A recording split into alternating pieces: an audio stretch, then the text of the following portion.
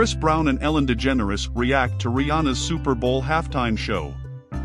Celebs who commented on Rihanna's Super Bowl performance on social media on Sunday included Chris Brown and Ellen DeGeneres. On Sunday, following Rihanna's set at the 2023 athletic spectacle, celebs commented on her performance on social media. Chris, the Diamonds Singer's ex, tweeted Go Girl with a heart and praying hands emojis on his Instagram stories after her performance. Ellen, a former anchor of a chat show, tweeted her admiration for the Umbrella singer OMG.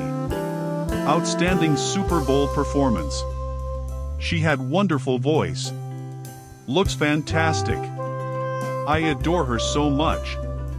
Who wins is even less important to me now. That Super Bowl was amazing.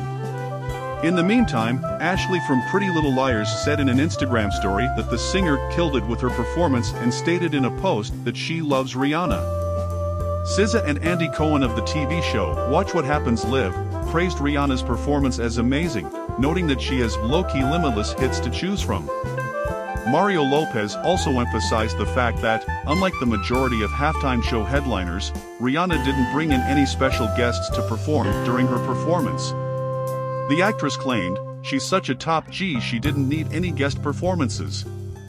Hits atop hits, please. Hits by Rihanna during the concert included Rude Boy, Umbrella, Diamonds, Bitch Better Have My Money, Only Girl in the World, and We Found Love. She also disclosed that she and ASAP Rocky are expecting their second kid. Rihanna is the talk of the town. She's been the talk of the town for a long time. She is one mega hero we Americans are proud of. She runs America at the moment. Thanks so much for visiting today, and be sure to smash that subscribe button in order to become a member of this amazing family, and to stay on top of American Celebrity Gist. Until later, stay American.